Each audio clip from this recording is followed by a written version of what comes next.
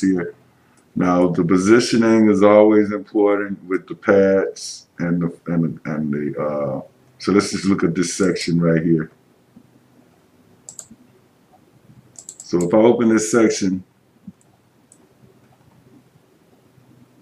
there's our pile cap and our column and our tube steel. So this looks pretty good. So we've got this section in fairly nice.